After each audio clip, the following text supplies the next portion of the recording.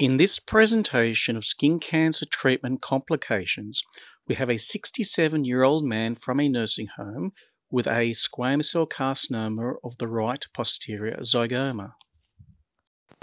Under local anesthetic, the lesion was excised and repaired with a rotation flap. The patient was placed on prophylactic antibiotics. Unfortunately, the patient developed a post-operative infection. Swabs showed MRSA, the antibiotic was changed according to the swab sensitivities. The wound is managed by regular dressings using a hydroactive gel such as Intrasite or Solosite gel. It is anticipated that the wound will take at least four to six weeks to heal by secondary intention.